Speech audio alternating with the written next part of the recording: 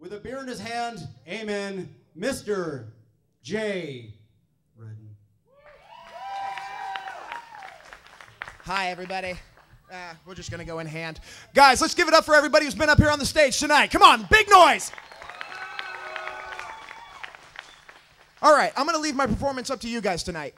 You have option one or option two. Give me option one. Come on. Somebody cheer. I'm, gonna, I'm asking you. You tell me which one you want. Option one. Okay, option two. I was really hoping for option one. It was much less embarrassing. All right. Guys, this is a warning, okay? I'm going to teach you a very, very important lesson this evening. Did you ever see the old Life commercial? Feed it to Mikey, he'll eat anything. Unfortunately, I'm Mikey, which is a really bad thing to be when you hang around with a whole bunch of counterculture th- kids who think it's really fucking cool to eat any medication they can get their hands on. Hey, it's green and yellow. What the hell does it do? Go get Jay, he'll eat anything. Not a good thing to be, guys. It results in many a forgotten evening. And this is one of those forgotten evenings. And unfortunately, for me, a lot of people saw it and have told me exactly what I did. I wish I didn't know. So we're going to go about it this way. We're back in the days of pagers.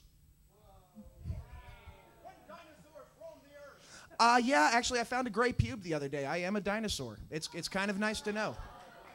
Um, uh, my hair turns gray as I get older. That's how that happened. It was pretty easy. Now, I, there was this girl, and there's always a girl. And I went to the girl's house because she said, Hey, Jay, come smoke some pot with us. Hang out. We'll get to know each other, have a great time. And my brain hurt titties. So I went over to Esther's house. And I got to Esther's house, and there were a couple people sitting on the couch, and they are just macrame to this shit, not moving, just. Go, Hi guys, how are y'all tonight? Oh God, Jay, go hit the bong a couple of times and catch up, okay? Sure.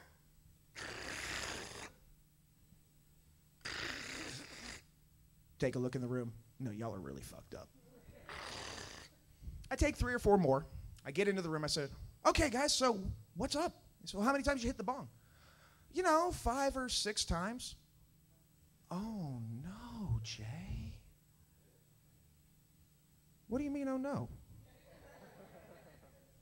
Is it hot in here? I just feel like taking my clothes off. I'm so itchy. Jay, that shit was covered with PCP. That's about when my memory cuts out. Okay? As far as I'm concerned, I woke up two days later, had a weird sort of body uncomfortableness that was fixed mostly by a shower. Now, now, my pager had been going off for apparently the last two or three hours. And Esther, finally interminably annoyed by whatever the hell it was I was doing, called the number on the pager. And my best friend, God bless him, came and got my strung out, drugged up ass. And this is what he saw, he, he tells me later, when he pulled into the gated community of this apartment complex. All right, so Jay, you were down at the end of the row of the cover parking, okay? And dude, you were leaning on the back of the car, all right? And you were looking at it. And you were mad. Oh my God, dude, you were so fucking mad at that car. It was unbelievable. And you were just giving it four, man. And then you took a step back, projectile vomited all over the back windshield, stood and admired your work, and moved on to the next car.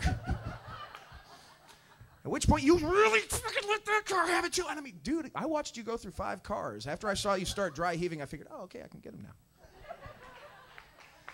Now, there is a moral to this story, kids, because there's always got to be a moral. Otherwise, you didn't learn nothing. And that moral is don't do drugs with people you don't know that well. It's an important lesson, and hopefully, you learned it from me.